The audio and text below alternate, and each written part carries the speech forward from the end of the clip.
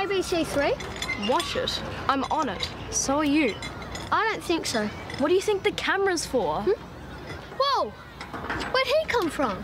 He's been filming us all week for our show, which is going to be on ABC3. That's so cool.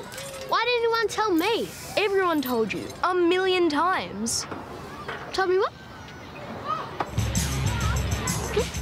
Little Lunch starts Monday, July 20 on ABC3.